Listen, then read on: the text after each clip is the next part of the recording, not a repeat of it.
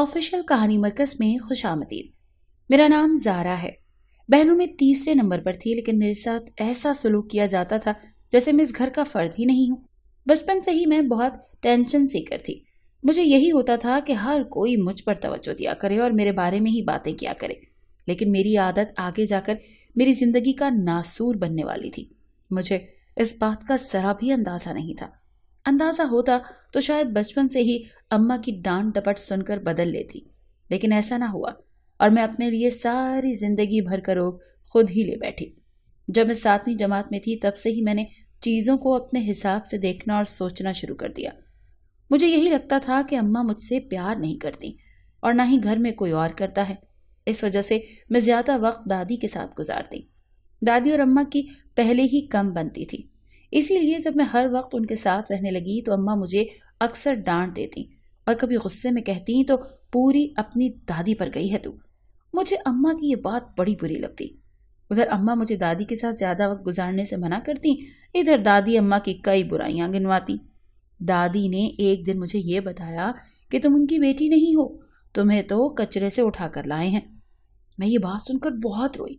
अल्लाह से कई शिकवे भी किए और उसके बाद मेरे और घर वालों के दरमियान एक दीवार सी खिंच गई, जो कभी खत्म ना हुई। जैसे जैसे मैं बड़ी होती जा रही थी, हालात बदलते जा रहे थे। उनके रवैये से उन सबको मुझसे दूर कर दिया। मैं अपना हमदर्द सिर्फ़ दादी को ही मानती थी, इस वजह से उनकी हर बात मानती। एक दिन दादी का पुप्पो के घर जाने का इरादा हुआ, जो कि सरगोदा में रहती थी। दादी मुझे साथ ले जाना चाहती थी, मगर अम्मा ने साफ़ इनकार कर दिया था, जिसकी बदौलत दादी ने एक प्लान बनाया। और मुझे बुलाकर खामोशी से कपड़े बैग में रखने को कहा। मैं वैसे ही उनकी हर बात पर आँखें बंद करके यकीन कर लेती थी। मैंने वैसे ही किया और अगली सुबह तीन बजे जब हर तरफ़ अंधेरा था, दादी मुझे साथ लेकर बिना किसी को खबर किए हुए घर से निकल आए। हम दोनों बस स्टेशन की तरफ़ रवा दवा थी। मैं जहाँ इस एडवेंचर पर खुश हो रही थी, वहीं दादी के चेहरे पर परेशानी भी वाजे थी। अभी हम स्टेशन पहुँचे ही थे कि गाड़ी जाने के लिए तैयार थी। दादी ने शुक्र किया और फ़ौरन से हम उसमें बैठ गए। दादी को यह डर था कि अम्मा किसी को भेजकर मुझे वापस ना ले जाए। इसीलिए वो बेताबी से गाड़ी चलने का इंतज़ार करने लगी। जैसे ही गाड़ी चली, उन्होंने सुख का सांस लिया। मैं पहली बार इतनी दूर सफ़र कर रही थी, इसीलिए मैं इश्तियाक से बाहर देखती जा रही थी। मुझे जरा परवाह नहीं थी कि मुझे घर ना पाकर अम्मा पर क्या बीतेगी। कई घंटों की मुसाफत के बाद हम फुप्पो के घर पहुँच गए। तब तक अम्मा को खबर मिल चुकी थी। पप्पू ने हमारा इस्तकबाल बहुत अच्छे से किया। मैं बहुत खुश थी। और इस बात से अनजान के आगे आने वाले हालात मेरे लिए किसी बुरे ख्वाब की हकीकत में बदलते देखने जैसे था। शुरू के दिन तो बहुत अच्छे थे। सबसे जान पहचान होती रही आस पड़ोस की औरतें। जब फूफो के पास आती तो मेरे हुस्न की तारीफ़ करते ना थकती। मुझे ये सब सुनकर बहुत अच्छा लगता और मैं अलग ही जोन में चली जाती। ये बात तो हकीकत थी कि मैं खूबसूरत थी। रंग गोरा नहीं था, मगर मेरे नक्श ऐसे थे कि हर कोई दाद देता। जहाँ सब अच्छा जा रहा था, वहीं मेरे साथ कुछ अजीब सा होना शुरू हो गया। चूँकि फुप्पू का घर गाँव में था और रात को सब लोग बाहर सहन में चारपाइयों की कतार बनाकर सोते थे, वहीं मुझे भी एक जगह दे दी गई। रोज पुप्पू का अकलौता बेटा जो मुझसे पाँच साल छोटा था, वो उठकर मेरे पास आ जाता कि बाजी मुझे डर लग रहा है। चूँकि वो मुझसे बहुत छोटा था, इसीलिए मैं उसे अपने साथ लेटने का कह देती और रोज या आधी रात को ही होता, जब मैं घुप नींद में होती। मगर एक रात उसके आने के बाद मुझे नींद ना आई और मैं खामोशी से आँखें बंद किए लेटी रही, कि शायद आतिफ इस बात से बेखबर था। उसके बाद उसने जो हरकत मेरे साथ की, मेरे आसान खता हो गए। चूँकि मैं तब उसे कुछ कह नहीं सकती थी, इसीलिए मैं नींद में होने का बहाना बनाकर कैसी अपने गिर्द लपेट लिया खेस, लेकिन मुझे उसकी हरकत महसूस हो रही थी। उस दिन से मेरे दिल में अजीब सा खौफ पैदा हो गया।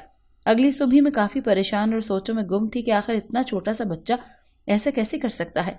अगर मैं किसी को कहती तो मेरी बात पर कोई यकीन न करता। समझ नहीं आ रही थी कि मैं क्या करूँ। तब मुझे अपने घर की बहुत याद आई। जैसा भी था, वो मेरे लिए एक महफूज जगह थी।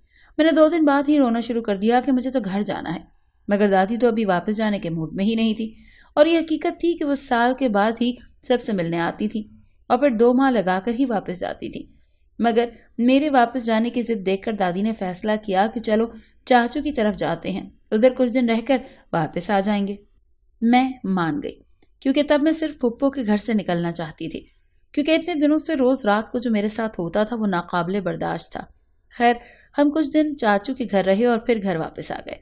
वापस आते ही पहले अम्मा की नाराज़गी का सामना करना पड़ा और उसके बाद एक झटका लगा कि अम्मा लोगों ने मेरा रिश्ता तय कर दिया है। मेरा इस तरह बिना बताए जाने पर अम्मा ने गुस्सा होकर अब्बा को बता दिया। या अब्बा मेरे रवैये के बारे में जानकर काफ़ी परेशान हो गए थे।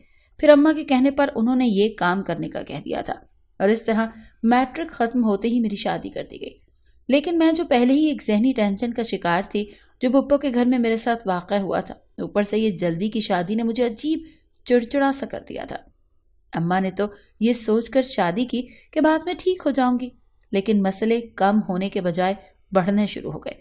मेरे शोहर का नाम नईम था, जिसकी दही भल्ले की दुकान थी। वो सुबह सवेरे जाता और शाम को आता और मैं घर में सारा दिन उसकी बीमार माँ को संभालती रहती। ज़िंदगी काफ़ी बेजार सी हो गई थी। मुझे ऐसा लगता था जैसे मैं नईम के सर पर ज़बरदस्ती मुसलत कर दी गई हूँ। या कभी ये लगता था कि बस उसने अपनी बीमार माँ के लिए ही मुझसे शादी की है। खैर एक दिन मुझे मेरे स्कूल की एक दोस्त मिली और बातों बातों में हमने एक दूसरे की ज़िंदगी के बारे में काफ़ी कुछ जान लिया। जहाँ मैं इतनी खूबसूरत होने के बावजूद तकलीफों में घिरी हुई थी, नजमा पक्का रंग होने के बावजूद भी अपने शोहर की मोहब्बत के किस्से सुनाती नहीं थकती थी। मेरे दिल में बात आई तो मैंने उसे बोल दिया कि तुम तो इतनी खूबसूरत भी नहीं हो, फिर भी तुम्हारा शोहर तुमसे इतना प्यार करता है, और मुझे देखो, खूबसूरती होने के बावजूद भी अपने शोहर की मोहब्बत की निगाह को तरसती रहती हूँ। मेरी बात सुनकर नजमा कुछ सोचने लगी। फिर पुरजोश होकर सरगोशी करने लगी। उसकी पूरी बात सुनने से पहले ही मैंने इनकार कर दिया, मगर फिर उसके सरार पर उसकी बात मानने का इरादा कर लिया। लेकिन ये काम इतना आसान नहीं था, मगर अब करना तो था ही। उसी रात मैंने नजमा के कहने पर अपने शोहर की शलवार अपने तकिए के नीचे रख दी और लेट गई। नईम ने जब देखा तो वो हैरत से बिना समझे घूरने लगे, मगर बिना कुछ कहे खामोशी से लेट गए। ऐसा कई दिन तक चलता रहा। वो मुझे इस हरकत पर कुछ ना कहते। उनकी खामोशी मुझे अंदर ही अंदर खाई जा रही थी। आखिर पूछने पर बताती थी, लेकिन फिर भी उन्होंने जरा भी दिलचस्पी ना ली। अगले दिन मैंने फिर नजमा की ही साथ बैठी खुद को कोस रही थी कि न जाने वो क्या सोचते होंगे, लेकिन नजमा ने मुझे तसल्ली दी और वही काम करते रहने का कहा। नजमा ने मुझे सख्ती से मना किया था कि अगर मैंने नईम को बता दिया तो उस अमल का असर खत्म हो जाएगा। उसी रात नईम ने अपनी खामोशी तोड़ी। मुझसे उस शलवार के बारे में सवाल करने लगे। उनकी बात सुनते ही मैं बिलक बिलक कर रोने लगी। उन्होंने मुझे तकिए के नीचे से शलवार निकालने को कहा, मगर मैं इनकार करती रही।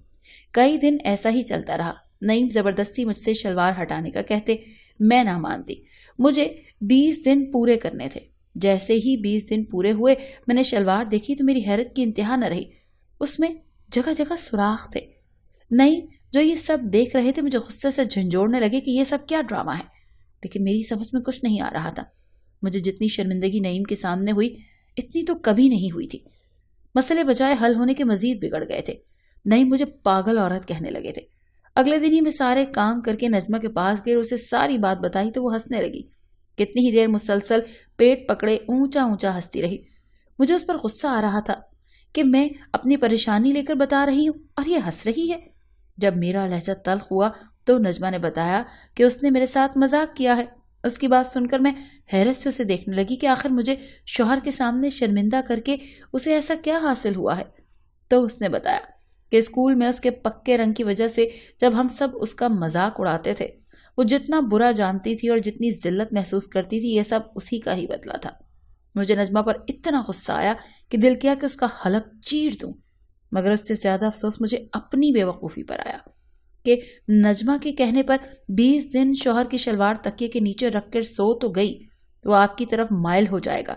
ऐसी बच्चगानी बात पर यकीन करके मैंने बीस दिन यही काम किया, क्योंकि नजमा ने इतने यकीन से कहा था कि उसने ये तरीका आजमाया हुआ है। तभी तो उसका शोहर उसकी हर बात मानता है, और मैंने जो अपनी ज़िंदगी से पहले ही बेजार थी, बिना कुछ सोचे समझे ही उसकी बात मान ली। मैं घर वापस आई, तब सोच सोच कर बुरा हाल था। कि नईम को क्या मुँह दिखाऊँगी? मगर खैर, मैंने अपनी ज़िंदगी का सबसे बड़ा फैसला लिया कि नईम से दो टोक बात करूँगी। या तो साथ रहेंगे या अलग हो जाएँगे। मैंने उस शाम नईम की पसंद का खाना बनाया और अच्छे से तैयार होकर उनका इंतज़ार करने लगी। जैसे ही नईम आए, उन्होंने मुझे गौर से देखा और खाना खाने लगे। तभी मैंने उनके सामने अपनी बात रख दी। मेरा दिल इतना बोझल था कि बिना सोचे समझे मैं चूं चरा किए बता दिया सब कुछ जो जो मेरे दिल में चल रहा था। जिसे सुनते ही नईम ने मुझे गहरी नज़रों से देखा और मेरा हाथ थाम कर मुझे जवाब देने लगे। वो पहला दिन था कि हम एक दूसरे के साथ आराम से इतनी देर तक बातें कर रहे थे। खैर, अब जब दोनों ने एक दूसरे की बातें सुन ली और एक दूसरे के हालात से अच्छे से वाकिफ हो गए तो मैंने उन्हें शलवार वाला किस्सा भी बता दिया, जिसे सुनकर वो खूब हंसे। मैं चूँकि एक संजीदा मूड में थी, लेकिन तब मुझे भी हँसी आ गई और इस तरह बात करने से ही हमारे दरमियान काफ़ी कुछ बेहतर हो गया। नई मुझे अम्मी के घर भी लेकर गए, जहाँ मैंने अम्मा से माफ़ी मांगी। उस दिन के बाद से मेरी ज़िंदगी का रुख ही बदल गया था। मैं खुश रहने लगी थी। तब मुझे अंदाज़ा हुआ कि लोगों को अपनाना ज़्यादा अहम है। बेशक आप अपने जाने का इंतज़ार करते हो। नजमा की एक गलत हरकत से ही मेरी ज़िंदगी बदल गई थी। अब पहले से पुरसकून थी।